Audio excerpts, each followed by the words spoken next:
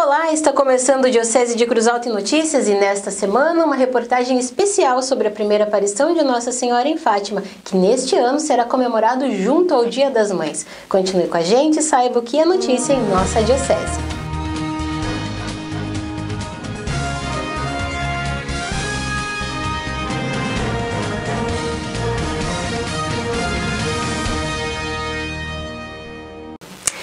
Neste dia 13 de maio, por ser o segundo domingo do mês, comemoramos o Dia das Mães. É também no dia 13 de maio que lembramos a primeira aparição de Nossa Senhora em Fátima no ano de 1917.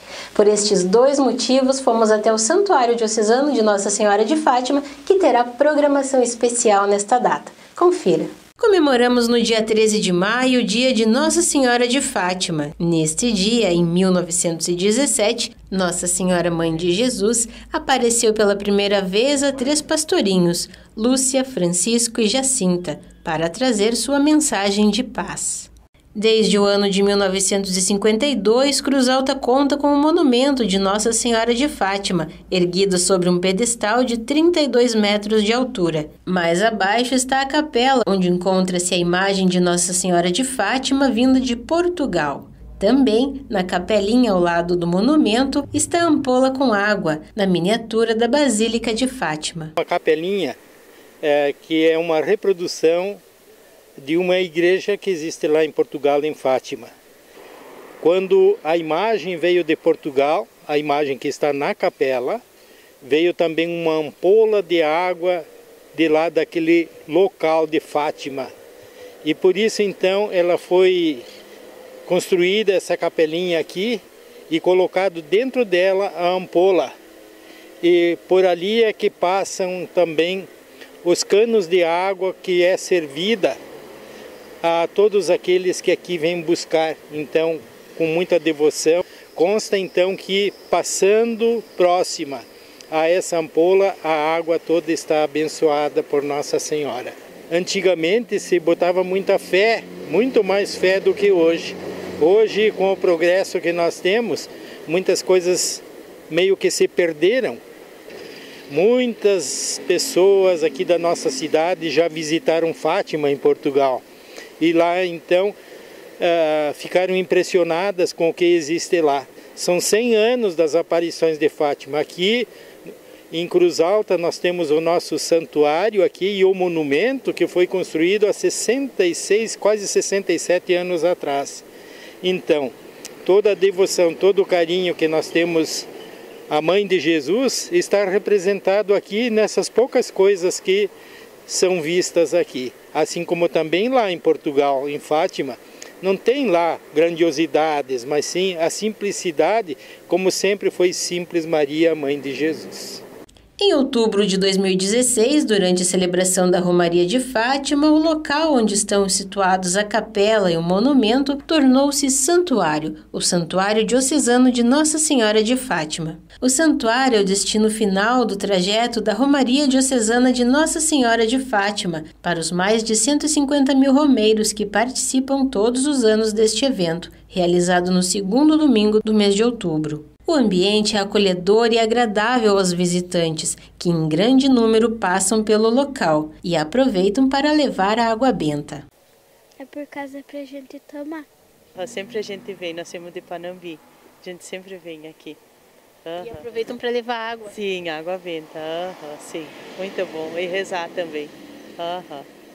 Neste ano, dia 13 de maio marcará também as comemorações do Dia das Mães. Desta forma, no Santuário Diocesano de Nossa Senhora de Fátima serão celebradas duas missas, uma às nove da manhã e a outra às 16 horas, conforme explica o reitor do santuário, Padre Ari Braganholo. Nós queremos convidar a todos para participar da Santa Missa que será celebrada uma às 9 horas e outra às 16 horas, nesse próximo domingo, dia 13.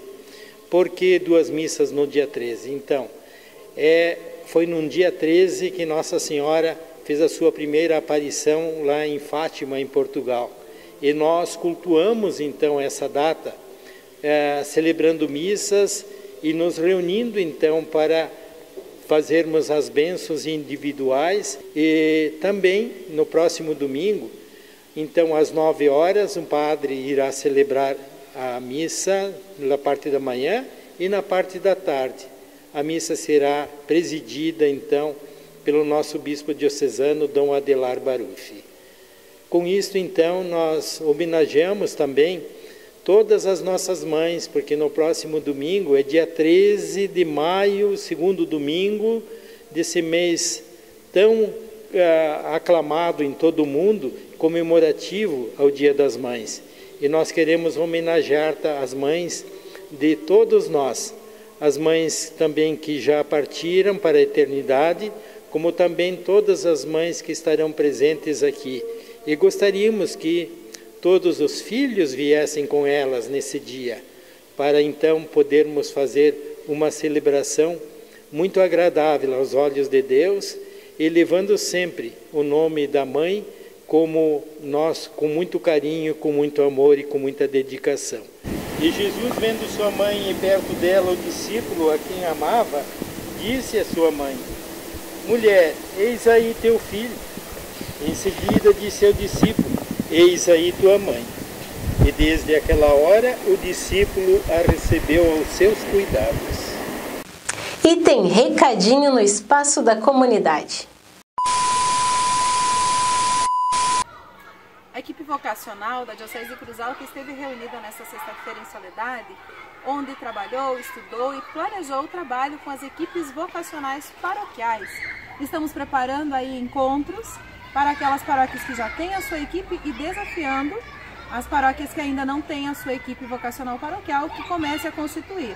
Estaremos enviando nos próximos dias um ofício a todas as paróquias com datas disponíveis que essa equipe estará trabalhando e fazendo também uma divulgação ainda maior da função do animador vocacional leigo, especialmente nesse ano do laicato, onde os leigos são convidados a serem os protagonistas, a ajudarem ainda mais no trabalho, no serviço da igreja. Convidamos a todos a unirem-se a nós no projeto desse ano, o projeto Cada Comunidade, uma, uma nova vocação. E reze conosco diariamente a oração pelas vocações, reze uma dezena do terço, reze o terço todo, pedindo por mais santas vocações, assim como é um pedido também do nosso Papa Francisco. E assim chegamos ao final de mais um programa. Não deixe de se inscrever no nosso canal no YouTube para receber as notificações dos nossos vídeos e acompanhar o Diocese de Cruz Alta em Notícia toda semana. Deixe seu comentário, compartilhe os nossos vídeos e até a próxima!